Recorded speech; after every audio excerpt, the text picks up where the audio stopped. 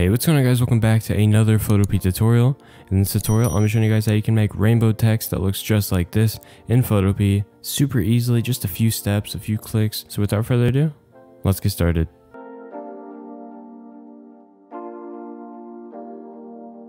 Alright, so the first thing you want to do is get your text tool. So I'm going to go ahead and get my text tool and type rainbow. And the font is luckiest guy. Just going to move this to the center. Change the size to, uh, we'll do 250. Move that to the center. Let me take this gradient overlay off the background real quick. Uh, double click on your text layer.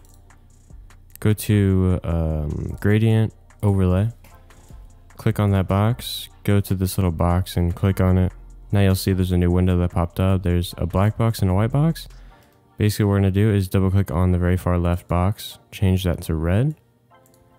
Click like right here it'll add another box, change that to like pink, add another box next to it, change that to like a dark blue, like that. Another box, change it to light blue, and then we'll do two more boxes. We'll change this one to yellow, or green actually, and then this one to red. And make sure there's a good distance between all of them. Make sure it's even for the best results. So it looks pretty even. There we got the rainbow. You can adjust the scale if you want. It kind of helps. Now what I'm going to do is I'm going to add an inner glow. And the setting's already on it, but you just want to change the blend mode to color dodge. Change the color to white and you can just adjust the opacity if you want but it looks pretty cool. Let me turn the background to black.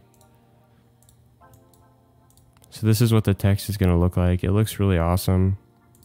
Uh, but you could turn the uh, inner glow off if you don't like it. I personally like it. You can adjust the spread and size if you want. That just looks crazy. But whatever you want to do there you go. Another thing I'm going to do is add bevel and emboss and I'm to change the technique to, uh, or the, yeah, the technique to smooth.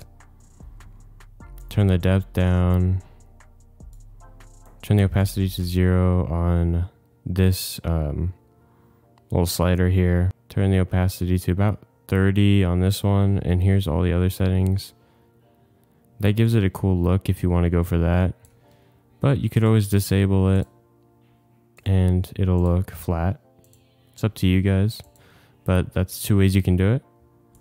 And that's all. So hopefully you guys enjoyed the video. If you did, leave a like and subscribe, and I'll see you guys in the next video. Peace.